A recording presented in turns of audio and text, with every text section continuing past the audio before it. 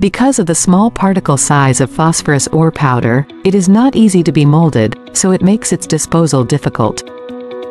Using Jianjie binder to mold it by cold pressing can be put into the furnace to use, which can realize the recycling of phosphorus resources. Sichuan Jianjie is a technology-based enterprise integrating R&D, production, sales and service. Jianjie binder for briquettes phosphorus ore powder, it does not lower ore grade. The dry strength after cooling can resist a pressure of 130 kg. At temperatures of 500-800 degrees Celsius, the briquettes can resist pressures of more than 50 kilograms.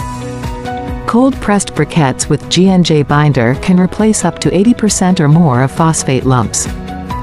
It's hydrophilic, complexing in cold setting, and can meet the requirements of electric arc furnace. Our binders have achieved remarkable effects and results in practical applications, and have been recognized and praised by the majority of our clients. Please contact us for more solutions.